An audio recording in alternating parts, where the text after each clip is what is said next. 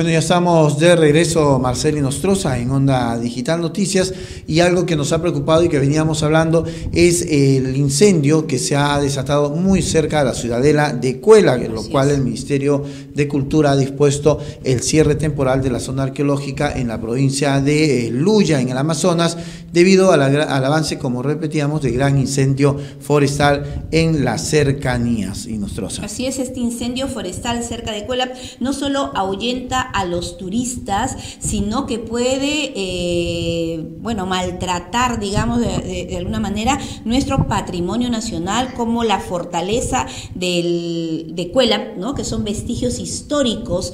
Eh, realmente estamos muy preocupados y bueno, para esto tenemos la entrevista con eh, el ambientalista que nos está haciendo, bueno, el favor de pasarnos todas estas notas, el doctor Pedro Heredia.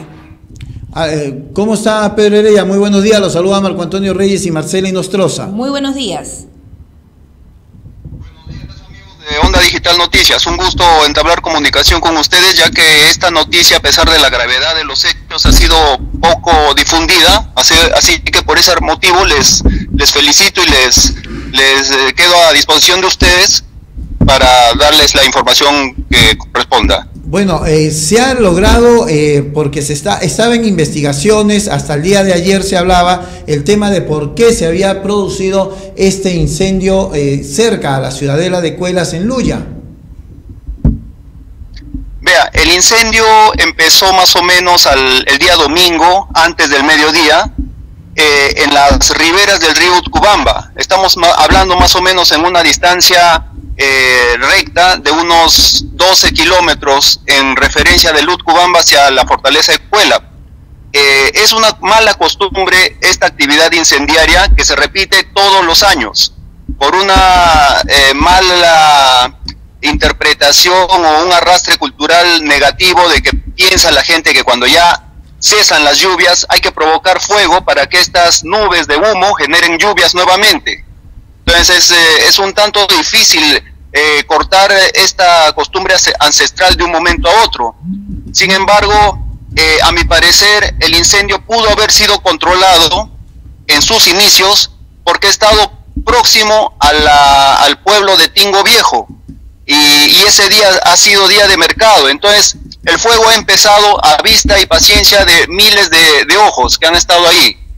Y no hacían nada. Eh, nunca la gente interviene. Eso es una mala costumbre, nunca la gente interviene. Lo que sí me, me, llena de indignación es de que sí todos se prestan a filmar con sus celulares cómo avanza el fuego y nadie interviene.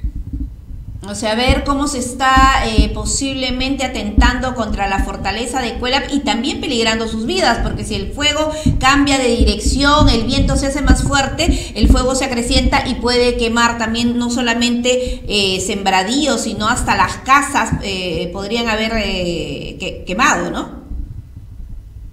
no ha habido daños materiales ni daños personales, pero sí el daño ecológico es muy grave estos ecosistemas que han sido quemados y de alguna manera han sido protegidos y, y empezado parte de un trabajo de restauración por las comunidades aledañas y la empresa de las telecabinas que opera el servicio a Cuela, eh, bueno, se ha visto prácticamente otra vez vuelto a cenizas, eh, un ecosistema para que se recupere mínimo 100 años.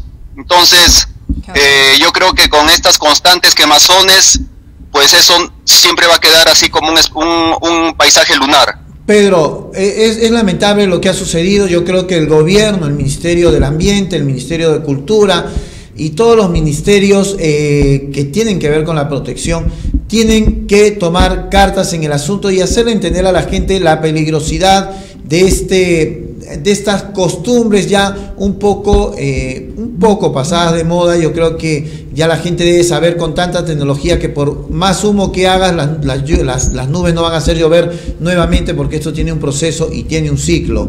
Pero se ha logrado eh, en parte ya controlar un poco el incendio. Hoy el helicóptero...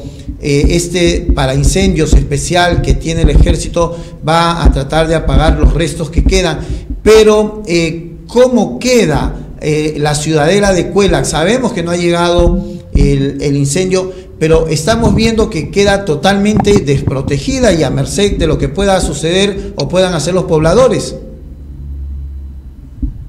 Eh, bueno, por suerte el incendio no ha llegado a la, a la fortaleza o ciudadela de Cuela, este, pero a ver, el día de ayer se hizo presente el ejército con una delegación importante eh, para reforzar las acciones de los bomberos, que a las 3 de la mañana más o menos de esta madrugada pudieron controlar el fuego, el avance del fuego.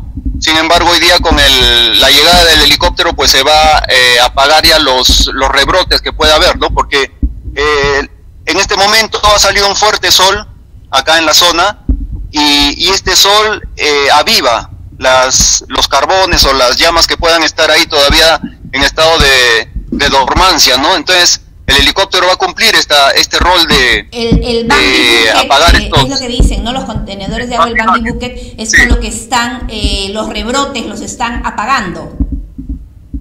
Así es, así es. Eh, yo creo que como van las cosas hoy día ya debe estar controlándose. Sin embargo, para tomar mayores precauciones, pues está llegando una delegación grande del Cusco, que ya no debe estar por tardar. Son, ah, según tenemos entendido, 40 personas de, capacitadas para manejo de este tipo de, de, atentados incendiarios, 20 de Lambayeque y también gracias al, a un comunicado del CERNAM está viniendo una delegación del, del Santuario Nacional Tabaconas Nambaye, que queda acá en San Ignacio, en departamento de Cajamarca. entre... Entonces, ya con la suma de todos estos esfuerzos, perdón, con la suma de todos estos esfuerzos, yo creo que hoy día ya se, se logra, se logra controlar eh, este atentado incendiario, ¿no? Entre la información enviada, Pedro, nos comentabas que habían estado ayudando 10 bomberos de la compañía de bomberos Higos Urca, Urco a cargo del comandante José Rojas Santillán, ¿no? Así es, así es. Eh, a pesar de sus limitaciones, porque acá no, no están tan preparados para este tipo de, de, imprevistos, no, no hay los equipos eh, suficientes o apropiados para este tipo de, de, problemas contra la naturaleza.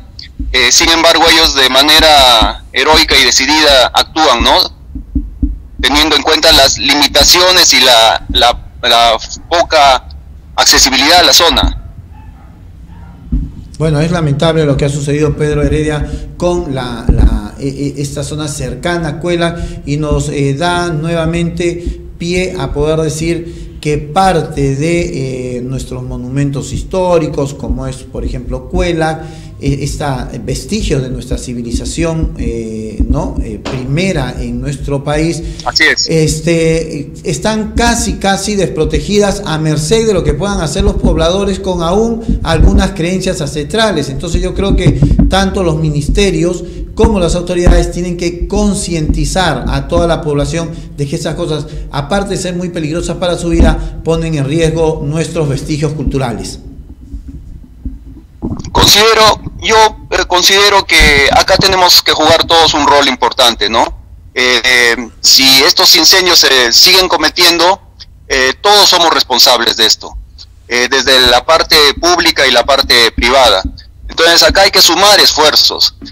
por primera vez en la historia, desde los 20 años que llevo viviendo acá en la zona, ha habido una, una movilización total eh, desde la, empezó con, con la gente local del Tingo, que sobre todo son foráneos en su mayoría y ellos han empezado a organizar ollas comunes, eh, recolección de todo tipo de, apoyo, enrolamiento de voluntarios, han tenido una labor muy, muy loable, a lo cual también se ha sumado este eh, Ayer en la noche había una reunión de urgencia en el gobierno regional. Eh, bueno, ah, se han dado muchos, muchas situaciones únicas.